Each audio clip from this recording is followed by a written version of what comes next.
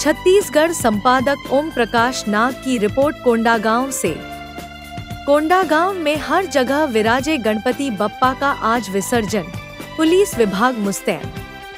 कोंडागांव आज दिनांक 17 सितंबर को हर जगह विराजे गणपति बप्पा की विसर्जन की तैयारी जोरों पर कोंडागांव में विराजे पीडब्ल्यूडी विभाग।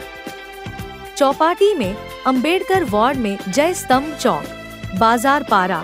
विकास नगर, गांधी वार्ड एवं नगर पालिका क्षेत्र के सभी वार्ड, ग्राम पंचायतों में गणपति विराजे आज विसर्जन के लिए धूमधाम से तैयारी की जा रही है।